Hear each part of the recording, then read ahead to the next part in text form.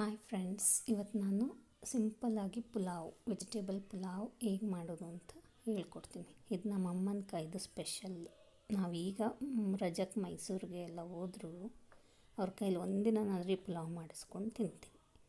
ನೀವು ಮನೇಲಿ ಟ್ರೈ ಮಾಡಿ, ಹೆಂಗಾಗುತ್ತೆ ಅಂತ ನೋಡಿ. ಬನ್ನಿ, ಹೆಂಗೆ ಮಾಡೋದು ಅಂತ ಹೇಳ್ತೀನಿ.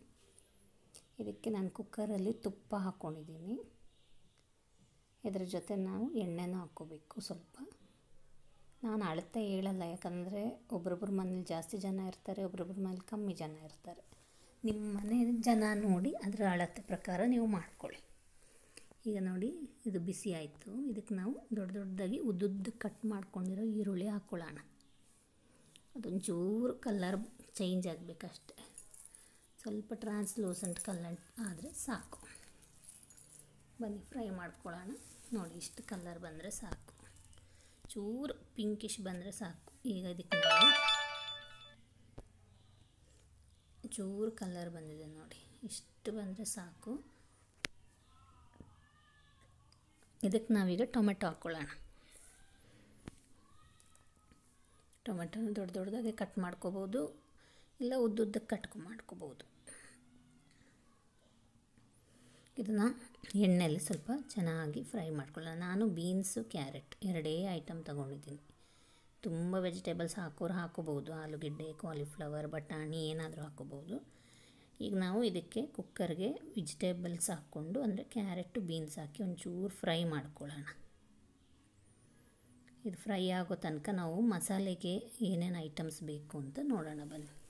ಹಸಿಮೆಣಸಿನ್ಕಾಯಿ, ಮೆಣಸು ಚಕ್ಕೆ, ಏಲಕ್ಕಿ, ಲವಂಗ, ಜಾಪತ್ರೆ, ಸೋಂಪು, ಜೀರಿಗೆ, ಶುಂಠಿ, ಬೆಳ್ಳುಳ್ಳಿ ಮತ್ತು ಕೊತ್ತಂಬರಿ ಸೊಪ್ಪು. ಇಷ್ಟು ಐಟಮ್ ಇದೆಲ್ಲ ನಾವು ಮಿಕ್ಸಿಗೆ ಹಾಕ್ಕೊಳ್ಳೋಣ ಇದೆಲ್ಲ ಮಿಕ್ಸಿಗೆ ಹಾಕ್ಕೊಳ್ಳುವಾಗ ಅದ್ರ ಜೊತೆ ಸ್ವಲ್ಪ ಅರಿಶಿನ ಹಾಕ್ಕೊಳ್ಳೋಣ ಎಷ್ಟು ಟೇಸ್ಟಿ ಆಗುತ್ತೆ ಅಂದರೆ ನೀವು ಒಂದು ಸತಿ ಮಾಡಿ ನೋಡಿ.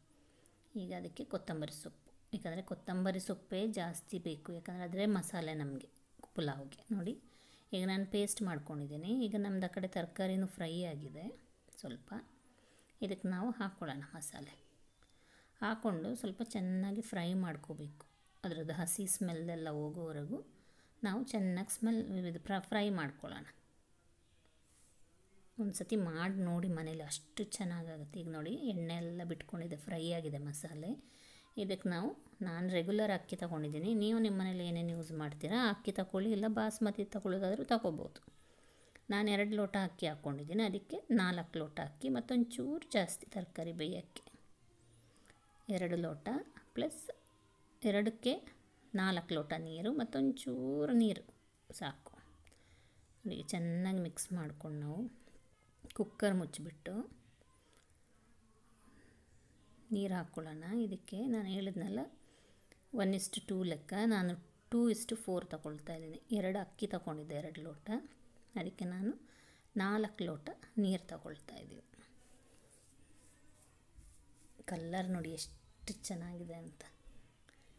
ಆಮೇಲೆ ಇದಕ್ಕೆ ನಾವು ಕಲಿಸ್ಕೊಂಡು ಸ್ವಲ್ಪ ಉಪ್ಪು ಹಾಕ್ಕೊಂಡು, ರುಚಿಗೆ ತಕ್ಕಷ್ಟು ಉಪ್ಪು ಎಷ್ಟು ಬೇಕಷ್ಟೇ, ರುಚಿಗೆ ತಕ್ಕಷ್ಟು ಹಾಕ್ಕೊಳ್ಳಿ ನಾನು ಕಲ್ಲುಪ್ಪು ಯೂಸ್ ಮಾಡ್ತೀನಿ. ನೀವು ನಿಮ್ಮ ಮನೇಲಿ ಯಾವ ಉಪ್ಪು ಮಾಡ್ತೀರಾ ಯೂಸ್ ಅದನ್ನು ಹಾಕ್ಕೊಳ್ಳಿ. ಈಗಲೇ ನಾವು ಒಂದು ಕುದಿ ಬರೋ ತನಕ ಬಿಟ್ಟು ಉಪ್ಪೇನು ಸರಿ ಇದೆಯಾ ಇಲ್ವಾ ಅಂತ ನೋಡ್ಕೊಂಬಿಡೋಣ. ಆಮೇಲೆ ಅಂದರೆ ಹಾಕೋಕ್ಕಾಗಲ್ಲ ಪುಲಾವ್ಗೆ. ಅದಕ್ಕೀಗ ಉಪ್ಪು ಹಾಕ್ಕೊಂಡು ಚೆನ್ನಾಗಿ ಕಲಿಸ್ಕೊಳ್ಳಿ. ಮತ್ತು ಕುಕ್ಕರ್ ಮುಚ್ಚಳ ಮುಚ್ಚೋ ಮುಂಚೆ ಒಂದು ಸತಿ ಉಪ್ಪು ನೋಡ್ಕೊಂಬಿಡಿ.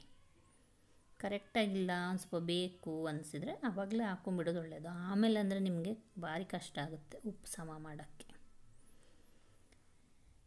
ಈಗ ನೋಡಿ ಕುದೀತಾ ಇದೆ. ತೆಳ್ಳಗೆ ಒಂದು ಲೈನಲ್ಲಿ ಕುದೀತಾ ಬಂದಿದೆ. ಇದಕ್ಕೆ ನಾವು ನಿಂಬೆ ರಸ ಹಾಕ್ಕೊಳ್ಳೋಣ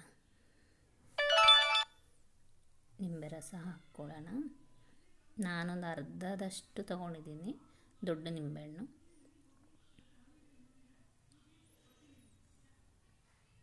ಇದನ್ನು ನಾವು ಕುಕ್ಕರ್ ಮುಚ್ಚಿ ಮುಚ್ಚಿಬಿಡೋಣ. ಈಗ ನೋಡಿ ಎಷ್ಟು ಚೆನ್ನಾಗಿ ಕಾಣ್ತಾ ಇದೆ. ಇದನ್ನು ನೀವು ಒಂದ್ಸತಿ ಮನೇಲಿ ಟ್ರೈ ಮಾಡಲೇಬೇಕು. ನಮ್ಮ ಅಮ್ಮನ ಕೈ ರುಚಿ ಇದು. ಒಂದ್ಸತಿ ಟ್ರೈ ಮಾಡಿ. ಇಷ್ಟ ಆದರೆ ಲೈಕ್ ಮಾಡಿ ಶೇರ್ ಮಾಡಿ.